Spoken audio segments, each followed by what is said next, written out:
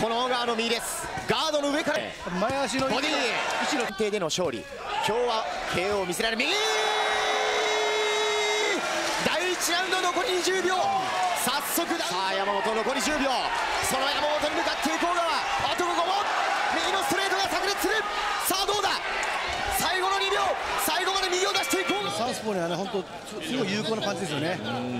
ガードをしていてもそれでも止められないほどのやはり威力があるんですか？そうですね右のストレートエロた。が左だと効いている。この右が効いている左フックからさらにその右畳みかける小川右のストレート今日の試合2つ目のダウンさあ右この右止めましたレフリーが止めたチャンピオン